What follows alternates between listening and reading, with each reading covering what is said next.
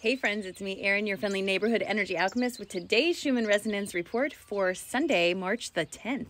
All right, boom, there it is. Do you feel it? Because I definitely feel it. We are getting a significant amount of energy to all chakras being opened, welcoming in lots and lots of energy. These angel wings that are coming forward Angel wings typically are a sign of a mass awakening taking place.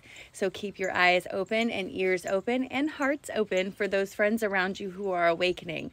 Remember how confused you were. Remember how upset you were, how scared you were. You're going to have some friends awakening around you. Big time. Here's the other graph. Lots and lots of energy coming in to all of the chakras, like all of them. For those of us who are already awakened in meditation, I was shown that this is working to highlight and emphasize our gifts. It is working to upgrade our DNA and it is working to propel us forward into whatever these next steps are. And I have to tell you, my dreams have gotten more and more intense with the idea of some people are going to have to be left behind. It's like the idea of they don't want to listen, they don't want to listen, and you're going to have to make a choice to stop trying to explain it to someone who doesn't want to listen and just be okay with you know what's going on. I know that almost every one of the creators that I follow on TikTok that are spiritual are talking about this. And I'm telling you from my dreams last night, it is coming. Whatever it is, it is big, it is changeful, and it is coming. Um, I am not someone to promote fear on my channel. I will never promote fear, but I am going to tell you it's going to change. And I feel like it's going to be very soon. And I don't know what it is, but it feels like enough that we're going to be very aware of what's going on. One of the images that was given to me was the idea of when Dorothy was in Oz and she found the wizard behind the curtain and pulling the curtain back and knowing that it was just a man, it wasn't a wizard. That kind of feeling is what it is. Something's going to be shown to us, something is changing in society. I don't know what it is, but it's big. It's big. I do not feel like this is something that we need to be afraid of. And I do not feel like anyone's necessarily going to get left behind, like they can't come on this journey but there are many, many people who are still asleep. It's those people who are still asleep and who choose to stay asleep that won't move forward as much, whatever that looks like. And I don't know what that is, but remember, it's not our job to wake people up. Some people are here to be the contrast and they chose not to wake up in this life. And that's okay. We need those people too.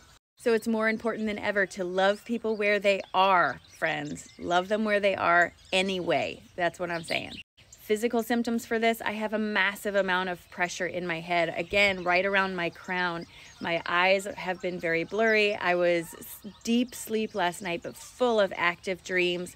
Some of them not so fun, but still very, very active. And this morning I woke up and have this feeling around my heart space. It's almost like a tenderness, as if I've released something that was held onto for a long time that was very tender. I'm a little bit emotional this morning and all those things. And that's all related to this. But remember, everybody's symptoms are different based on you and where you are in your journey, but there's a lot of energy here. So a lot of physical symptoms would not surprise me at all. Okay, and we got a pretty clear message in our cards this morning also. Empowerment. Empowerment comes from sticking to what you know is true for you, holding on to that determination.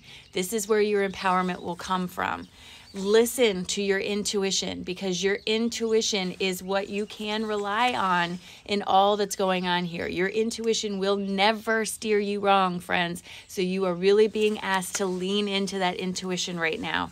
Make informed decisions about what you're doing. And when I mean informed decisions, I mean really listen to you and how you feel, right? Is this something you really want to do?